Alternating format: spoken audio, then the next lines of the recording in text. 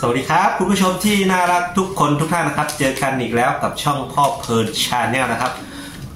ช่วงนี้จะเป็นช่วงหน้าฝนนะครับ ยุงก็จะเยอะนะครับ เวลามันเข้ามาแล้วมันก็จะกัดตัวเราหรือว่าผิวหนังเราทำให้เป็นตุ่มเป็นผื่นได้นะครับ แต่วันนี้หมดปัญหาไปแน่นอนนะครับ เพราะว่าเราจะทำการไล่ไล่ด้วยสิ่งนี้ครับ นั่นก็คือการปูนี่แหละครับ การปูนี่แหละครับ สามารถทำให้ยุงไม่เข้ามาใกล้บ้านเรือนของเรา ก่อนที่จะไปรับชมคลิปวิดีโอนะครับพ่อเพลินขอคนละหนึ่งสับสไครต์สั่นกระดิ่งไว้คอยแจ้งเตือนคลิปดีๆของพ่อเพลินด้วยนะครับ ไปนะครับ เราไปทำน้ำยาไล่ยุงด้วยสมุนไพรการพู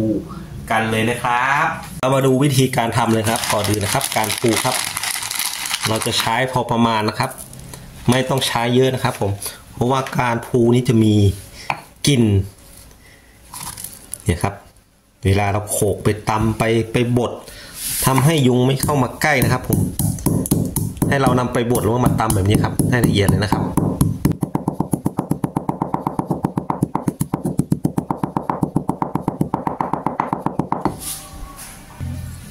เสร็จแล้วนะครับผมเราจะมาใช้แอลกอฮอล์ครับผมแอลกอฮอล์สำหรับล้างมือ ให้เรานำใส่ขวดนะครับผมขวดสเปรย์ของเรานะครับ ส่แบบนี้นะครับผมที่เหลือเราก็ใช้อีกต่อไปนะครับ เสร็จแล้วเราปิดฝาครับผมเขย่าเลยครับ นี่เห็นไหมครับ มันจะเปลี่ยนสีนะครับ นี่แหละครับผมเป็นสเปรย์สำหรับการฉีดไล่ยุงในบ้านเรือนของเราหรือว่าตัวเราได้นะครับผม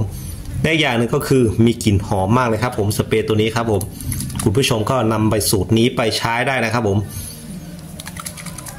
เดี๋ยวเรามาดูวิธีการฉีดเลยนะครับ วิธีการฉีดนะครับผมให้เราฉีดไปเลย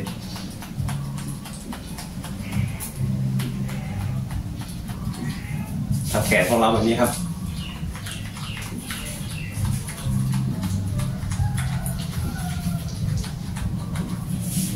ฉีดไปทั่วๆแบบนี้ครับผม ใช้ได้ประมาณ 20 ชั่วโมงนะครับผม 24 ชั่วโมงนั่นแหละครับผม เพราะว่ากลิ่นตัวนี้มันจะติดไว้ ในอย่างไม่มันไม่เป็นอันตรายนะครับผมฉีดไว้แบบนี้ทิ้งไว้เลยครับผม แล้วเราก็ไปทำธุระที่ไหนก็ได้ ในบ้านเรือนของเรา ยุงไม่มีกัดแน่นอนครับผม ใครที่มองหาสเปรย์นะครับผม หรือว่าการพูนะครับผมสำหรับการไล่ยุงพ่อเพิร์นแนะนำเลยครับนี่นะครับสเปรย์ไล่ยุง สูตรบ้านของเรากลิ่นหอมไม่ฉุนไม่เป็นอันตรายต่อร่างกายของเรา ฉีดได้เลยนะครับ เนี่ยยุงไม่มีกัดแน่นอนครับผมเราฉีดที่ไหนก็ได้นะครับนี่ครับสเปรย์แบบนี้ครับผมเราสามารถฉีดพ่นได้เลยครับผมตามมุมต่างๆครับผม เวลายุงได้กลิ่นหรือว่ายุงบินมาสัมผัสมันก็จะหนีไปเลยครับ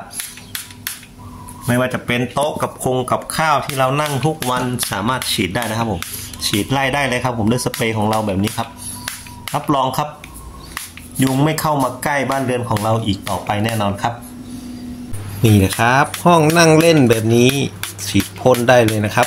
ฉีดพ่นตามจุดต่างๆ มุมทึบมุมอับ โต๊ะโซฟงโซฟา ฉีดพ่นได้หมดเลยครับ ยุงไม่เข้ามาใกล้บ้านเรือนของเรา หรือว่าไม่เข้ามาใกล้ตัวเราอีกต่อไปแน่นอนเลยครับ นี่นะครับเป็นวิธีง่าย ๆ ในการทำน้ำยาสเปรย์ไล่ยุงในวันนี้ หวังว่าคลิปนี้คงมีประโยชน์ต่อคุณผู้ชมมากเลยนะครับ ถ้าชอบก็อย่าลืมกดไลค์กดแชร์ กด Subscribe สั่นกระดิ่ง ไว้คอยแจ้งเตือนคลิปดีๆ ของพ่อเพลินด้วยนะครับ